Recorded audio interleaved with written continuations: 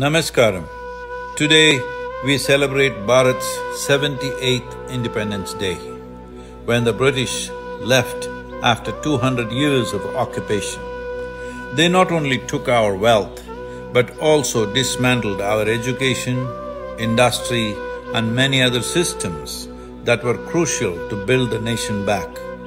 The last few decades since independence have been a struggle, but today Bharat is once again taking its place in the Committee of Nations. However, it is not enough for Bharat to remain Bharat, Bharat must become Mahabharat. If this has to become reality, one very important aspect is the spiritual thread of the nation. When we say Bharat, it is not a culture of absolutism, of you versus me.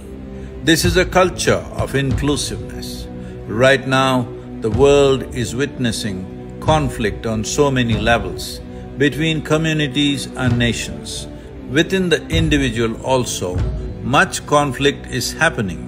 Mental health issues are rising across the planet like never before. So inclusiveness is the need of the hour. On the level of the individual, it is only through inclusion that we can experience joy, peace and balance. Inclusion means there is no you and the other. When there is no you and the other, there is no conflict. Without addressing the individual, talking about the world peace is not going to lead anywhere. In this context, it is important that our nation becomes a beacon to the world. For thousands of years across the planet, whenever people sought inner well-being and stability, they naturally move towards Bharat. Once again, it is important we create that possibility for humanity. If this has to happen, first Bharat has to become Mahabharat. Mahabharat means that people of this land must live with such sense of vibrance and balance that the rest of the world should aspire to become like that.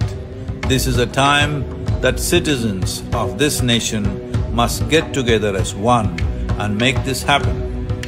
As those who invest in war organize themselves, those who aspire for peace also need to organize. Passive apathy should not be misunderstood as peace. As a nation, responding to evolving situations unleashed by forces of absolutism, both within and around, needs an organized response. This is a responsibility we have for ourselves, for people around us and for the rest of the world. Let us make it happen. भारतं महाभारतं धर्म अधर्मसङ्घर्षणम् पक्षिप्राणिमानव च देव।